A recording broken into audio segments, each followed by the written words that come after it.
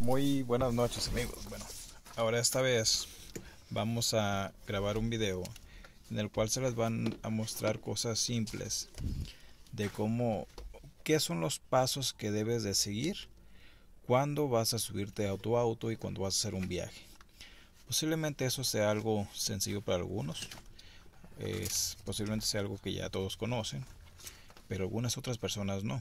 Entonces, por lo cual voy a hacer las cosas sencillas y poco a poco pasando el tiempo van a voy a empezar a subir más videos de cosas más este, complejas. Comencemos primero por, por, lo básico.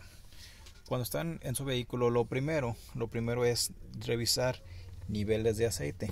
Aquí estamos en un autoversa y vamos a abrir lo que es el cofre para checar los niveles de aceite y agua.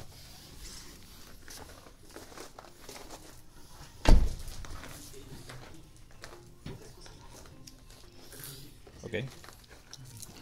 Por lo regular, en esta parte de aquí abajo, aquí como pueden ver, aquí tiene una palanquita. Esta hay que levantarla hacia acá y el cofre en automático subirá. Posteriormente todo vehículo tiene una varilla. Algunos tienen algunos tienen en esta parte de aquí tienen como un tipo resorte.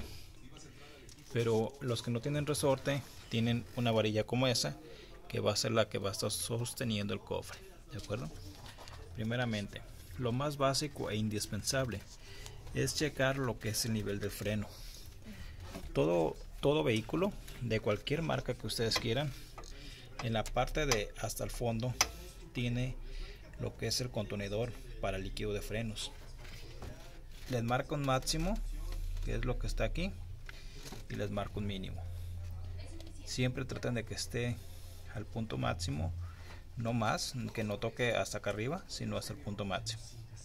De acuerdo eso es algo muy importante y de suma vitalidad. Aparte hay que siempre revisar que ese nivel después de un cierto tiempo no baje. Recuerden que los frenos es algo muy importante, que en este caso al ser frenos hidráulicos es de algo sumamente importante. Como ahí pueden ver, el líquido de frenos contra apenas sale a lo que es al fondo. Siempre, siempre tiene que estar así y nunca tiene que estar más lleno de más, si no puede haber complicaciones futuras. ¿De acuerdo? Eso estamos viendo lo que es líquido de frenos. Siempre asegúrense de que cuando lo abran lo retiren siempre que se oiga un clic o que haga un seguro en el cual agarre la tapa del freno. Eso es algo muy de suma importancia y que siempre va a ser así. Posteriormente seguimos con algo que es el nivel del aceite del aceite del motor el aceite de motor, como ustedes pueden ver, tiene una bayoneta como esta. Todo auto la tiene. Y en el caso mío, el carro ya estaba en uso, pero aún así se puede ver el nivel que está bien.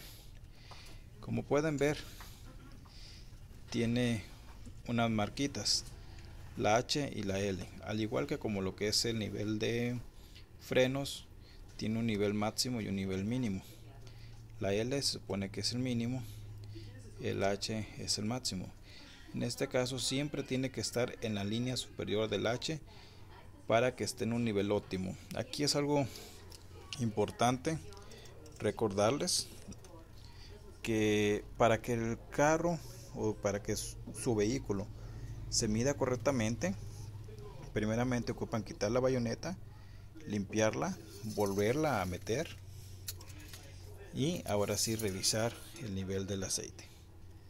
Como pueden ver este carro lo tengo en nivel óptimo y está en la rayita del H. ¿De acuerdo? Siempre hay que hacer eso para que sea una medición exacta. Aparte que el, donde está ese vehículo sea una parte plana, como pueden ver aquí, está totalmente plano. No estamos en subida ni nada. Ahora, otra, otra parte importante para medir sería lo que es el nivel del agua. que en el caso de los autos nuevos, de hecho creo que de todos, pero algunos usan agua todavía, usan un líquido que se llama anticongelante. Puede ser para, para algunos obvio, esto que le digo, pero para algunos otros no. El anticongelante es lo que entra al radiador y que a su vez, como pueden, bueno, como pueden ver, esa manguera negra trae anticongelante. Esta entra al motor. Entra y por otra manguera